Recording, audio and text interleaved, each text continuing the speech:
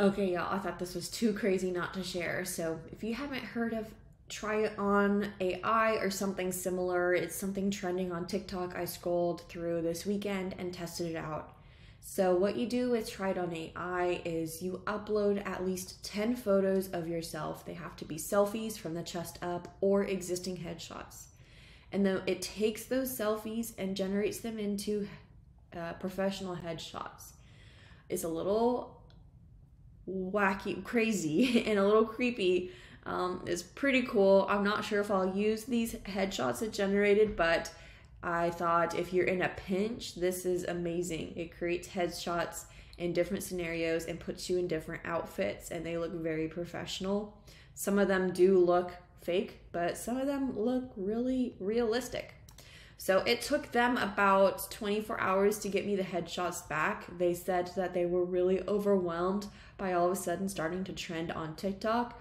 So their system was kind of overloaded. So if you do do this, it may take 24 hours or longer.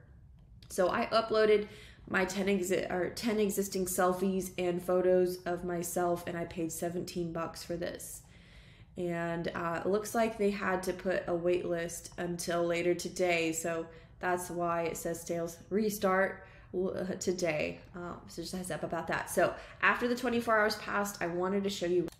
Here we are. They took my headshots and selfies and created ai generated headshots. You can see that some of these are really fake. Like it made my smile really creepy looking and some of these are doing weird things like what are these lines? But um, if i scrolled down some of them do look not bad. Like this one's not bad. That one's not too bad. That one these look fake. I would never wear that jacket. Um, that one's not bad. This one make my hair made my hair really poofy for some reason.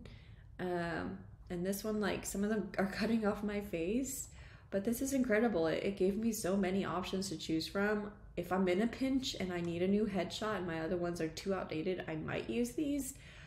But just how amazing is that? It's like a whole new photo shoot you did, and you can select which ones you like. Um, I, I like that one and that one. There was one where it clearly was not me. They tried to remove my glasses and it looked nothing like me. Um, where was it? Oh gosh, some of these are really bad. Uh, but some of them are not too bad. That one's not bad. Um, I'm trying to find the one where they. But this is amazing. I paid 17 bucks and I got so many. I don't like that they put my hair in a bun. Um, where's the one where they try to remove my. That one's not bad. I would never wear that, but that one's not bad. Here, this one they tried to remove my glasses and they made me entirely new person. So check it out. You might like it. You might like the results, and then you avoid having to go do this in person.